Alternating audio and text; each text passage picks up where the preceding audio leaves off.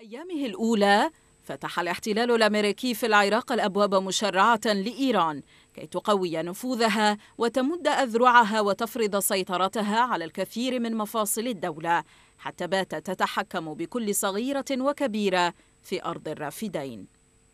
لكن يبدو أن إيران التي وجدت الفرصة سانحة لتمزيق أوصال العراق وعدم السماح له بالنهوض مرة أخرى فتمددت وتوسعت وتجاوزت أكثر مما سمح لها فأصبح العراق حديقتها الخلفية وساحة حرب لتصفية الحسابات.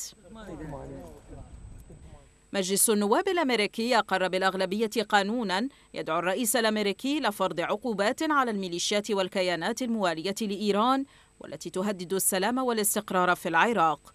ويضع القانون على وزير الخارجية الأمريكي مسؤولية إعداد ونشر قائمة الجماعات المسلحة والميليشيات أو القوات العاملة بالوكالة في العراق والتي تتلقى مساعدة لوجستية أو عسكرية أو مالية من الحرس الثوري الإيراني.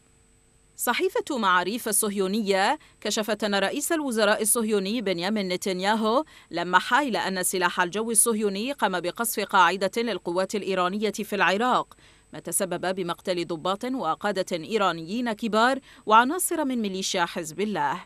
وكان معسكر تابع لميليشيا الحشد في ناحية أميرلي شرقي صلاح الدين قد تعرض لقصف لم يعلن عن مصدره.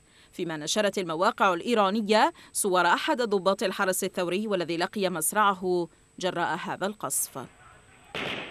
من جانب آخر فإن الخزانة الأمريكية أعلنت فرض عقوبات على أربع شخصيات في العراق بينهم قياديان بميليشيا الحشد هما ريان الكلداني ووعد قدو ومحافظان سابقان هما أحمد الجبوري محافظ صلاح الدين ونوفل العاقوب محافظ نينوى. بتهمة انتهاك حقوق الإنسان والفساد في الوقت الذي تغض الطرف فيه بل وتتعامل مع كبار المسؤولين الفاسدين الذين تلطخت أيديهم بدماء العراقيين والذين يتربعون على هرم السلطة ويتلقون الدعم والتأييد من إيران. لكن ثمة تساؤلات تثار حول مصداقية وجدية المواقف الأمريكية من إيران وتدخلاتها في شؤون العراق وزعزعة أمنه واستقراره ومدى الرغبة بالحد من النفوذ الإيراني في خضم تباين المواقف والأحداث الدائرة في المنطقة.